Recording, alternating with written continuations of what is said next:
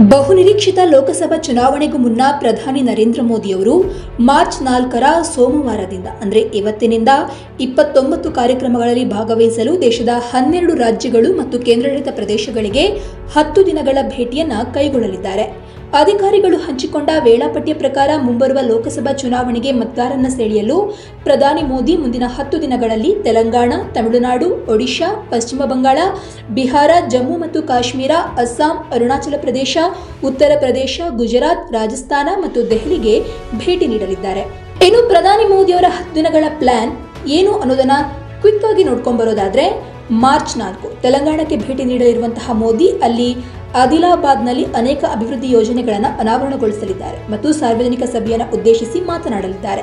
ನಂತರ ತಮಿಳುನಾಡಿನ ಕಲ್ಪಕಾಂಗೆ ತೆರಳುತ್ತಾರೆ ಅಲ್ಲಿ ಅವರು ಭಾರತೀಯ ನಭೀಕಿಯ ವಿದ್ಯುತ್ ನಿಗಮ್ ಲಿಮಿಟೆಡ್ ಅಂದರೆ ಭಾವಿನಿಗೆ ಭೇಟಿ ನೀಡಲಿದ್ದಾರೆ ಮತ್ತು ಚೆನ್ನೈನಲ್ಲಿ ಸಾರ್ವಜನಿಕ ಸಭೆಯನ್ನು ಉದ್ದೇಶಿಸಿ ಮಾತನಾಡಲಿದ್ದಾರೆ. ಬಳಿಕ ಅವರು ಹೈದರಾಬಾದ್ಗೆ ತೆರಳಲಿದ್ದಾರೆ. ಇನ್ನು ಮಾರ್ಚ್ ಐದು ಅಂದರೆ ಎರಡನೇ ದಿನ ಅವರು ತೆಲಂಗಾಣ, ಸಂಗಾರೆಡ್ಡಿಯಲ್ಲಿ ಹಲವಾರು ಕಾರ್ಯಕ್ರಮಗಳಲ್ಲಿ ಭಾಗವಹಿಸಿ ಹಲವಾರು ಯೋಜನೆಗಳನ್ನು ಉದ್ಘಾಟಿಸುತ್ತಾರೆ ನಂತರ ಅಲ್ಲಿಂದ ಒಡಿಶಾಗೆ ಪ್ರಯಾಣಿಸುತ್ತಾರೆ ಅಲ್ಲೂ ಕೂಡ ಉದ್ಘಾಟನೆ, ಲೋಕಾರ್ಪಣೆ ಮತ್ತು ಶಂಕುಸ್ಥಾಪನೆ ಕಾರ್ಯಗಳು ನಡೆಯಲಿರುತ್ತೆ.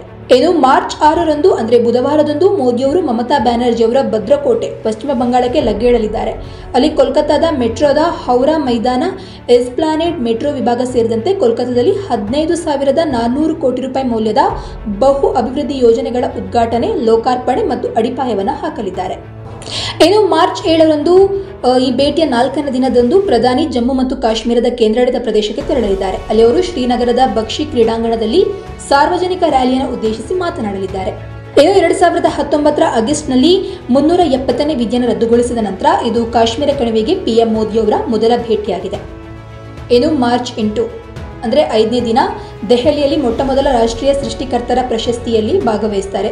ಮಾರ್ಚ್ ಒಂಬತ್ತರಂದು ಪ್ರಧಾನಿ ಮೋದಿಯವರು ಈಶಾನ್ಯ ರಾಜ್ಯವಾದ ಅರುಣಾಚಲ ಪ್ರದೇಶದಲ್ಲಿ ಪಶ್ಚಿಮ ಕಮೆಂಗ್ನಲ್ಲಿ ಸೇಲಾ ಸುರಂಗವನ್ನು ಉದ್ಘಾಟಿಸಲಿದ್ದಾರೆ. ನಂತರ ಅವರು ಅಸ್ಸಾಂಗೆ ತೆರಳುತ್ತಾರೆ. ಅಲ್ಲೂ ಕೂಡ ವಿವಿಧ ಅಭಿವೃದ್ಧಿ ಕಾರ್ಯಗಳಿಗೆ ಶಂಕುಸ್ಥಾಪನೆ, ಅರ್ಪಣೆ ಹಾಗೂ ಮುಂತಾದ ಕಾರ್ಯಕ್ರಮಗಳಲ್ಲಿ ಭಾಗವಹಿಸಲಿದ್ದಾರೆ. ಇನ್ನು ಮಾರ್ಚ್ ಹತ್ತರಂದು ಸಮಾಜವಾದಿ ಪಕ್ಷದ ಭದ್ರಕೋಟೆಯಾದ ಅಜಂಗಢದಲ್ಲಿ ಹಲವಾರು ಕಾರ್ಯಕ್ರಮಗಳಲ್ಲಿ ಪಾಲ್ಗೊಳ್ಳಲು ಪ್ರಧಾನಿ ಮೋದಿಯವರು ಉತ್ತರ ಪ್ರದೇಶಕ್ಕೆ ತೆರಳಲಿದ್ದಾರೆ. ಇನ್ನು ಮಾರ್ಚ್ ಹನ್ನೊಂದು, ಅಂದ್ರೆ ಎಂಟನೇ ದಿನದಂದು ಪ್ರಧಾನಿ ಮೋದಿ ನಮೋ ಡ್ರೋನ್ ದೀದಿ ಮತ್ತು ಲಖ್ಪತಿ ದೀದಿ ಕಾರ್ಯಕ್ರಮಗಳಲ್ಲಿ ಪಾಲ್ಗೊಳ್ಳಲು ರಾಷ್ಟ್ರ ರಾಜಧಾನಿಯಲ್ಲಿ ಸೇರ್ತಾರೆ. ಮಾರ್ಚ್ ಹನ್ನೆರಡನೇ ದಿನ, ಅಂದ್ರೆ ಒಂಬತ್ತನೇ ದಿನ ಪ್ರಧಾನಿ ಮೋದಿ ಅವರು ಗುಜರಾತ್ನ ಸಬರಮತಿಗೆ ಭೇಟಿ ನೀಡಲಿದ್ದಾರೆ. ನಂತರ ರಾಜಸ್ಥಾನಕ್ಕೆ ತೆರಳುತ್ತಾರೆ. ಜೈಸಲ್ಮೇರ್ ಜಿಲ್ಲೆಯ ಪೋಖ್ರಾನ್ ಪ್ರವಾಸವನ್ನ ಮಾಡಲಿದ್ದಾರೆ. ಮಾರ್ಚ್ ಹದಿಮೂರರಂದು ತಮ್ಮ ಭೇಟಿಯ ಕೊನೆಯ ದಿನದಲ್ಲಿ ಪ್ರಧಾನಿ ಮೋದಿಯವರು ಗುಜರಾತ್ ಮತ್ತು ಅಸ್ಸಾಂನಲ್ಲಿ ವಿಡಿಯೋ ಕಾನ್ಫರೆನ್ಸಿಂಗ್ ಮೂಲಕ ಮೂರು ಸೆಮಿಕಂಡಕ್ಟರ್ ಯೋಜನೆಗಳಿಗೆ ಅಡಿಗಲ್ಲು ಹಾಕಲಿದ್ದಾರೆ. ನಂತರ ಸಮಾಜದ ಹಿಂದುಳಿದ ವರ್ಗಗಳ ಜೊತೆಗೆ ಸಂಪರ್ಕ ಕಾರ್ಯಕ್ರಮವನ್ನು ನಡೆಸಲಿದ್ದಾರೆ. ಇನ್ನು ಬಿಜೆಪಿ ತನ್ನ ಬಹುನಿರೀಕ್ಷಿತ ನೂರ ತೊಂಬತ್ತೈದು ಅಭ್ಯರ್ಥಿಗಳ ಮೊದಲ ಪಟ್ಟಿಯನ್ನು ಬಿಡುಗಡೆ ಮಾಡಿದ್ದು, ವಾರಣಾಸಿಯಿಂದ ಪಿಎಂ ಮೋದಿ ಮತ್ತು ಗುಜರಾತ್ನ ಗಾಂಧಿನಗರದಿಂದ ಅಮಿತ್ ಶಾ ಅವರಂತಹ ದಿಗ್ಗಜರು ಕಣಕ್ಕಿಳಿಯಲಿದ್ದಾರೆ.